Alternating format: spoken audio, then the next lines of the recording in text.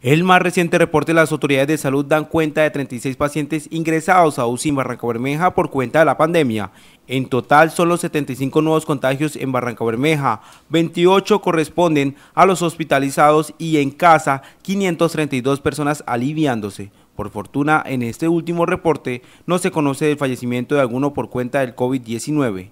Las autoridades reiteran el compromiso de la ciudadanía de portar el carnet de vacunación para ingresar a los establecimientos al público y continuar con la aplicación de la vacuna contra el COVID-19 en el distrito de Barranca Bermeja.